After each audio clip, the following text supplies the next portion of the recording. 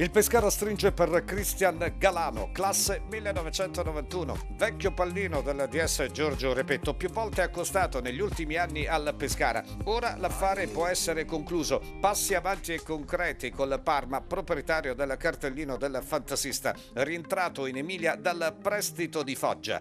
Asse caldissimo col club ducale in procinto di acquisire le prestazioni di Frank Canuté. Intrigo Brugman. Al centrocampista uruguaiano sembrano interessati interessate Benevento e Cremonese, ma non è ancora partita una richiesta ufficiale, valutazione non inferiore ai 3 milioni di euro.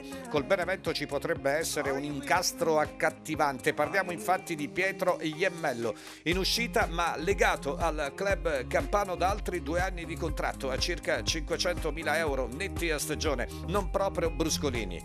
Juventus di nuovo su Elisalde, soprattutto su due giovanissimi prospetti biancazzurri. Leonardo Cerri, di cui già si sa da tempo, prima punta del 2003, e Andrea Caliò, mezzala prelevata in prestito lo scorso anno dal Catanzaro e riscattata a caratteristiche molto simili a Filippo Melegoni. Entrambi sono stati forgiati da Felice Mancini, responsabile dell'Under 16. Infine, come già anticipato, il neo allenatore della formazione primavera sarà Nicola Legrottaglie. Tutto fatto, manca solo l'annuncio. In Lizza c'erano Pierluigi Iervese e Francesco Tomei. Alla fine invece Sebastiani ha scelto l'ex difensore della Juventus, appunto Nicola Legrottaglie, 43 anni, più di 250 presenze in Serie A, ha indossato anche le maglie di Chievo, Bologna, Siena, Milan e Catania. In nazionale ha esordito proprio all'Adriatico nel novembre 2000 2002, amichevole con la Turchia finita 1-1.